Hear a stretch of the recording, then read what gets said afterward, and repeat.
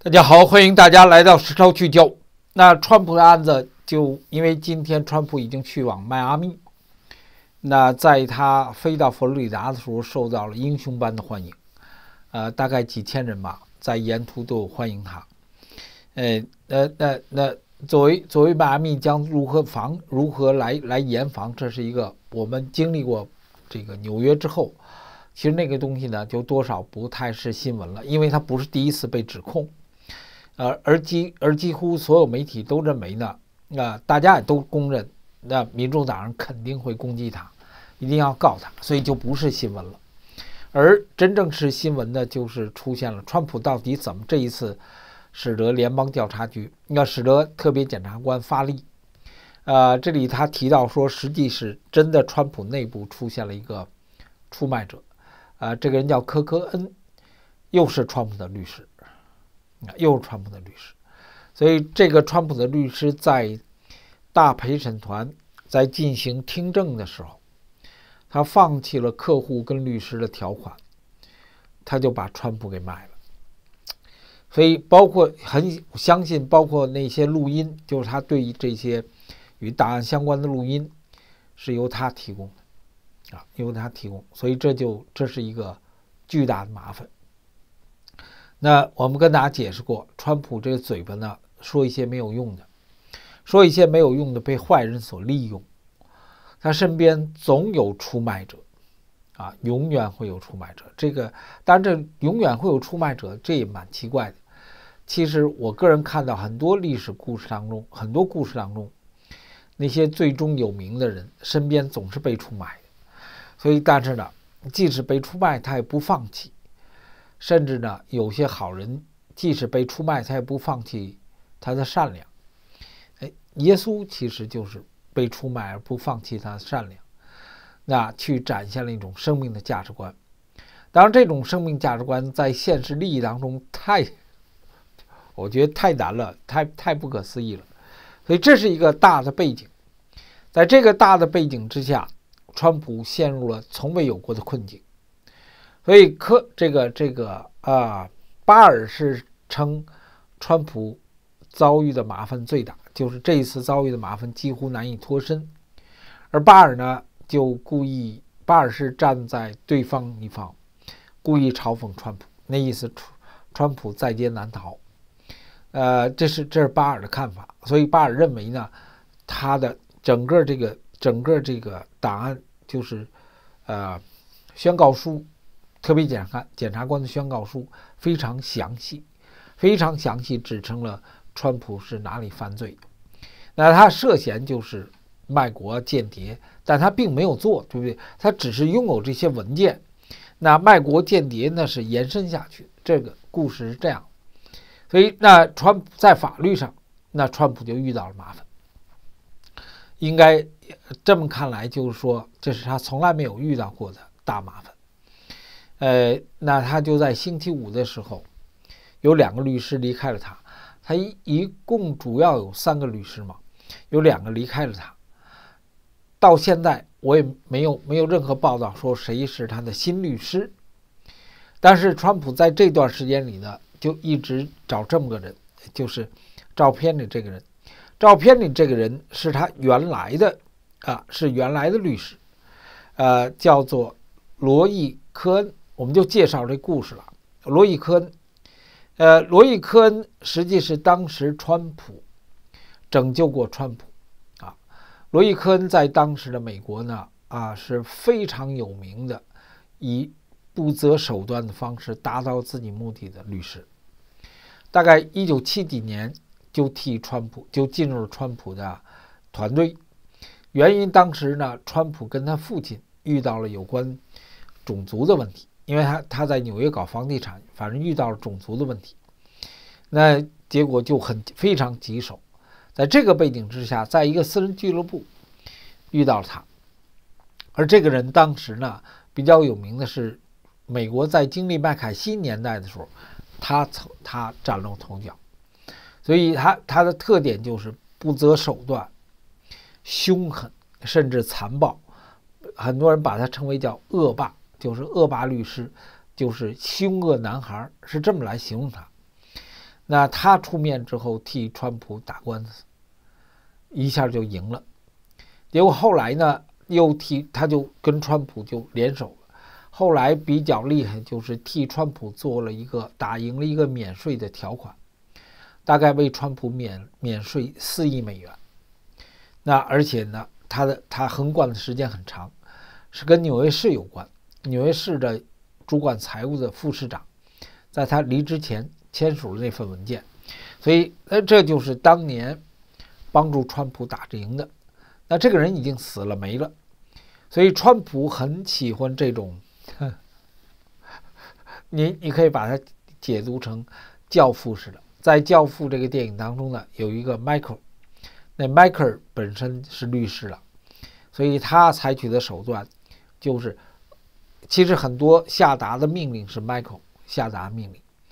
那当然，他是跟老教父有所有所沟通之后，呃，类似，非常类似，所以川普就在说他在寻找这么一个人，那这个人能够像他的恩师一样，当年的恩师一样，能够打败，就是应对跟打败现在的这个凶狠的人，因为现在的史密斯呢，同样是以凶狠为著称，啊，面部表情凶狠残暴。极端憎恨川普，你要你要用憎恨这个词儿，所以他只能找到一个对等的律师，才能跟这位检察官能够能够抗衡。这个东西很简单了，那就看他拿出来，因为状子已经出来了，这个律师要阅读他的状子来来对付对方，所以我们不知道他是否这种 case 有上诉的可能，因为呢，当初呢，呃，我们看到的。另外的 case 当中，交叉火力当中的，呃，达勒姆的案案子当中没有上诉的问题，所以这是一个基本的故事。这篇报道就这么报道，所以到现在他的新律师没有出现，但他希望寻找这么一个恶霸式的律师，来打击今天的史密斯，这就是川普期待的。那而问题出在于，是他自己的律师。给了司法部一个起诉的路线图，他残酷就残酷就在这里面。那残酷在这里面就是这里面说，就是出卖者了，真真真正正的出卖者。啊，他这里介绍这个科恩，科恩当初帮助过南希里根，里根总统太太。那他在就是帮助南南帮助这个南希里根的时候呢？呃，他的比较有名望的东西就是就是名誉手手段。那里面最该死的证字证据来自于科科伦，不是科科科科伦。呃，科科伦在跟大审大陪审团调查中放弃了律师跟客户条款，所以就给了检察官一个建立案子的路线图。呃，他的麻烦就在麻烦就在这里。里面就大面积介绍这个科恩如何如何。那我个人觉得没什么了。我个人觉得，在这篇内容当中，大家知道川普的难处，川普的难处来自于自己的律师出卖，而他需要一个那样的律师，到现在没有出面。嗯，他的根根结呢，我我只能说是命了。真的，就说说句说句不好听话，川普自己的。自己的一些生性特点，成为了他致命的弱点，而所有对他的打击，就是这种残酷打击，都跟他的生性习惯有关，都是本不该，就是无关紧要的东西而出的毛病。这段录音的关键，我们刚才上期节目中用了。这段录音的关键是当时川普在他当着自己的律师的面吹牛，说我手里有。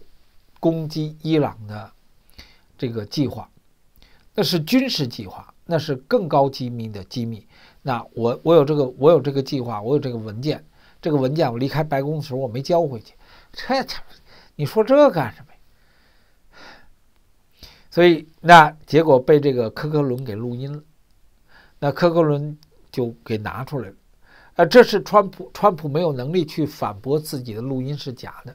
我们在节目中还跟大家说呢，我说这东西搞不好，我期待是一种假的。AI 做的或者怎么样都有可能。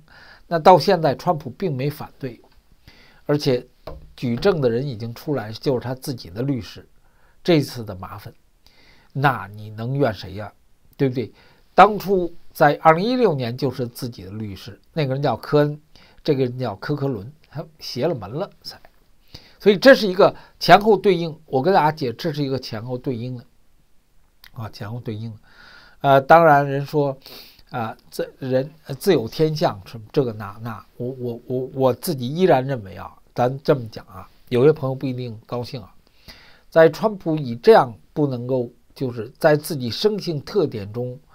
这么明确，而而屡屡遭对方黑手，而自己却不去有意的回避的话，有必有意的约束自己的话，这不是件好事情。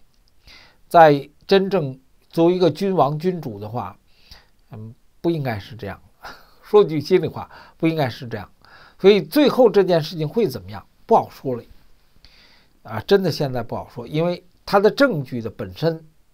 就是我们这么讲吧，作为今天的史密斯以这样的方式去告川普，他的总体作为川普作为总统来讲，史密斯是非常邪恶，啊是非常邪恶。那他不足以，因为他不足以证明川普做是间谍，不足以证明川普在卖国都没有，他只能说川普有这份文件，但是用了川普的话却证明。川普是故意把文件拿走的，而没有把它去解密。里头明确讲说，那文件没解密呢。呃，他说现在我想解也解不了，都是川普自己的话，就把自己原来的话就给否了。所以问题是出在这里面，出在了一个法律游戏上，法律定罪游戏上。但这个东西呢，不应该去治川普的罪，因为你没有证明。川普给国家带来的伤害，而拜登是直接给国家带来伤害，所以这是一个完全不同的。